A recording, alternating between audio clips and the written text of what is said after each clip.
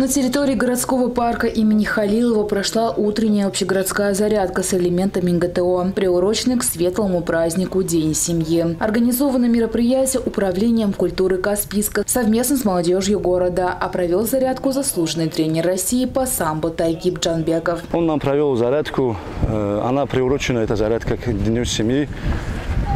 Вот такой праздник у нас. Любые мероприятия такие объединяющие, они для нас считаются э, мотивационные и объединяют молодежь. Началась утренняя зарядка с пробежки, спаррингов и завершилась рядом различных физических упражнений. Отметим, что многие каспичане пришли со своими семьями. Мы в основном пригласили как бы самбистов, но здесь и гости нашего города присутствуют. Э, Я смотрю, здесь более, больше 150 человек есть.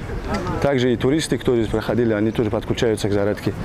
Такая объединяющая мероприятие. Данная оздоровительная зарядка была проведена с целью привлечения молодежи к здоровому образу жизни и знакомству с именитыми спортсменами республики, которые радушно приняли участие в разминке. А Мы рады, что смогли объединить усилия и с- для создания такого важного и нужного мероприятия.